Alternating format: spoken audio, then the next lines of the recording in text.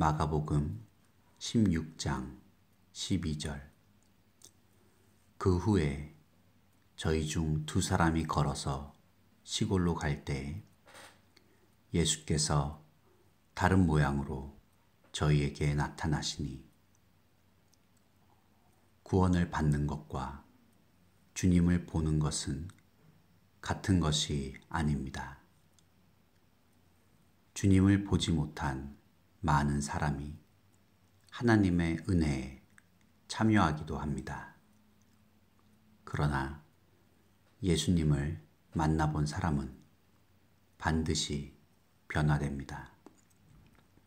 과거에 그렇게 좋던 것이 더 이상 좋지 않습니다. 예수님을 만나 그분이 어떤 분이신지를 아는 것과 주님께서 우리를 위하여 무슨 일을 이루셨는가를 아는 것을 언제나 구별하십시오. 만일 당신이 주님께서 당신을 위하여 이루신 일만 알고 있다면 당신은 하나님을 충분히 안 것이 아닙니다. 그러나 당신이 예수님의 모습을 그대로 보았다면 인생 가운데 어떠한 경험을 할지라도 당신은 보이지 않는 그분을 보는 것 같이 하여 인내할 것입니다.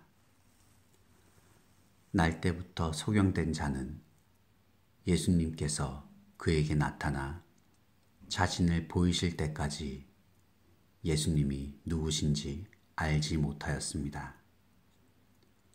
주께서는 누군가를 위하여 어떤 일을 하신 후에 그에게 나타나십니다. 그러나 그분이 언제 나타나실지는 말할 수 없습니다. 갑자기 그분이 오시면 나는 지금 그분을 봅니다. 라고 외치게 됩니다.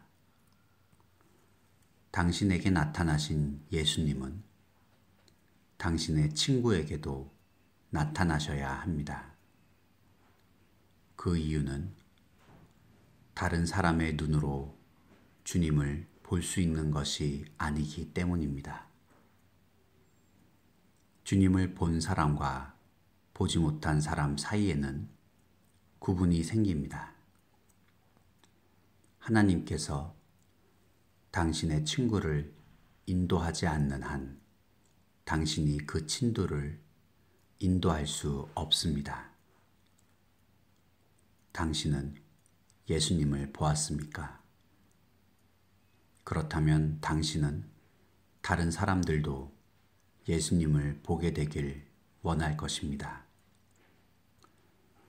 두 사람이 가서 남은 제자들에게 고하였을 때 역시 믿지 아니하니라.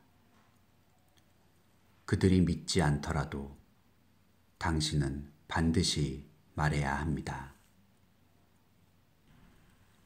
내가 본 것을 말할 수만 있다면 당신은 분명히 믿게 될 텐데 어찌 말해야 당신이 받아들일까? 오직 주님께서 내가 섰던 그곳에 당신을 이끄신다면